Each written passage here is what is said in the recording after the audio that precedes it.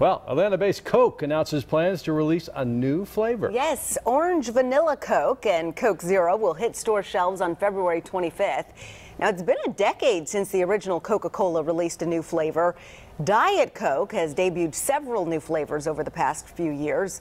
Coca-Cola says it's tested raspberry, lemon, and ginger in focus groups, but orange and vanilla came out as favorites. Well, give it a try.